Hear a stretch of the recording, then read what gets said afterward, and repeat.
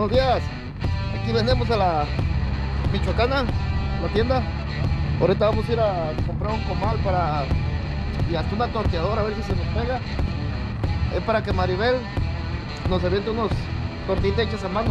Ahorita vamos a entrar para acá. Bye.